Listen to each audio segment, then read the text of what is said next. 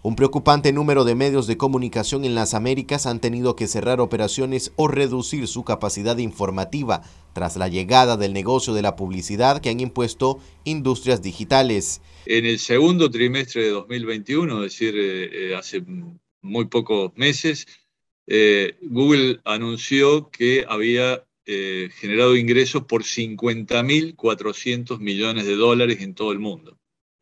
Facebook en el primer trimestre de este año, ingresos publicitarios por 25.400 millones.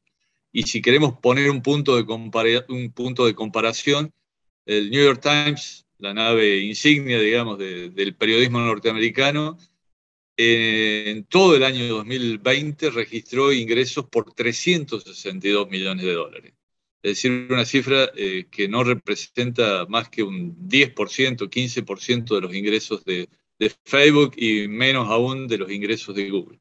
Hay una eh, gran desproporción y, todos sabemos lo que implica el costo de generación de contenidos, el costo de sostener estructuras muy importantes y también cuánta es eh, la circulación que tienen esos contenidos en las redes sociales.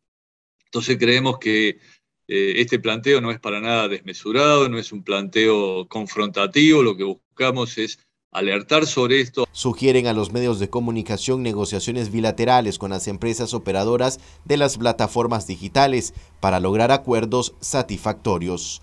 El 80% de la publicidad digital va a las grandes plataformas, mientras que los medios gráficos tradicionales tenían buena parte de la publicidad local eh, vinculada con ellos porque había ya un, vínculo muy estrecho.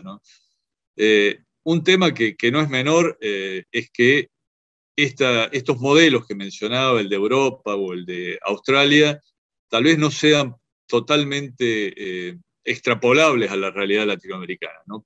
porque eh, también por las mismas dificultades que estamos hablando, de países con gobiernos muy autoritarios, donde eh, lograr una ley similar a la que estamos hablando sería imposible o terminaría siendo una ley que fuera en contra de los medios de comunicación. Entonces, nosotros no abogamos por un modelo en particular, eh, sino que creemos que todos tienen fortalezas y debilidades que hay que ir sacando de ellos, tomando de ellos aquello que sea lo, lo más potable para la realidad latinoamericana. Marcos Medina, Noticias 12.